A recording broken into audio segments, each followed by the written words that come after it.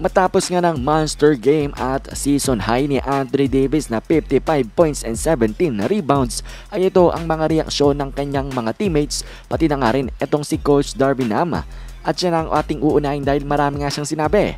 Sabi niya ito nga daw pangunguna ni Anthony Davis sa Los Angeles Lakers ay nagre-resulta sa panalo at napakalaking tulong nga daw nito kay Lebron James. Nakakapag-save daw si Lebron ng energy at mas nagiging efficient siya sa kanyang paglalaro para ba nga daw na nagiging leader na itong si AD sa team ng LA Lakers.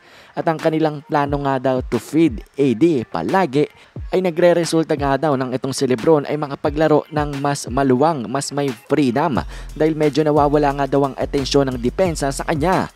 At ang maganda nga rin daw dito ay itong si Anthony Davis ay gusto rin talagang pangunahan na ang team ng Lakers at gusto nang mag-take over sa team na itong LA Lakers para nga rin matulungan itong si Lebron James.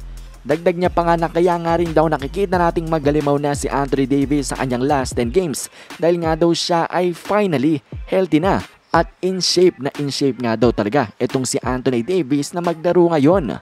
Masaya nga daw siya na napapanood itong si AD na naglalaro ng ganito, nagpe-perform ng ganito.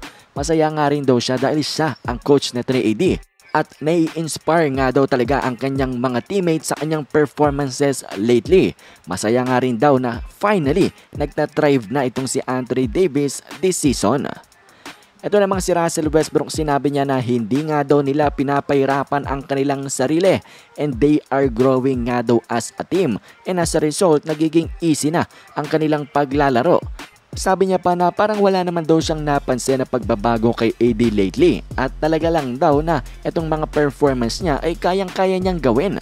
Mahalaga nga rin daw na alam ni Anthony Davis na kayang-kaya niya yung mga ganitong klaseng performances.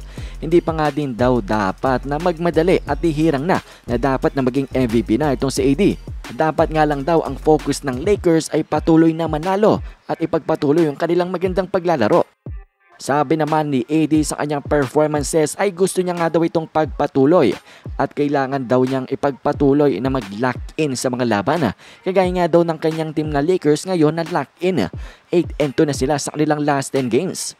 Sinabi niya pa nga rin ang dahilan kung bakit ganito na siya maglaro. Talagang full dominance sa NBA.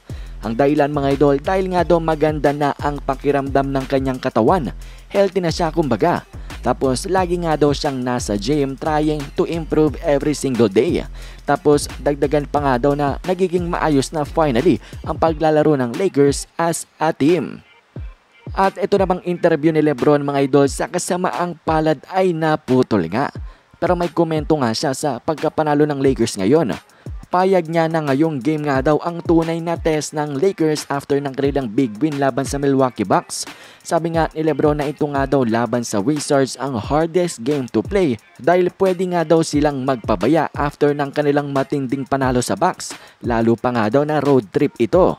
They played a great game nga daw for 48 minutes kagaya nung ginawa nila sa Milwaukee. Dagdag niya pa mga idol kahit medyo na-tweak niya nga daw yung kanyang ankle kanina sa kanilang laban ay maglalaro nga daw siya sa kanilang next game laban sa team ng Cleveland Cavaliers. Yan nga mga idol ay sa Wednesday 8.30 ng umaga. Kayo ba mga idol, ano ba ang naging reaksyon nyo nung makita nyo itong si Anthony Davis na mag-drop nga ng 55 points, 17 rebounds in just 37 minutes? Komento nyo lang mga idol ang inyong mga opinion.